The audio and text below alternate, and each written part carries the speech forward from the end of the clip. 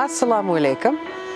As blooming flowers usher in the beauties of spring and the fresh breezes of a new beginning, I want to wish all in Uzbekistan happiness and joy on the occasion of Navruz on behalf of the people of the United States of America and colleagues and friends at the U.S. Embassy in Tashkent.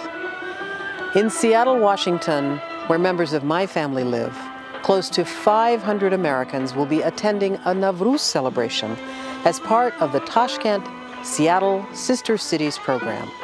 I know they too will be enjoying the traditional servings of sumalak and plov, and that they join me in wishing all Uzbekistan families peace, good health, and success as we all work together to strengthen the bonds of friendship between our two countries.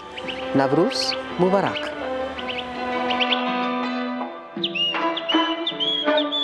Música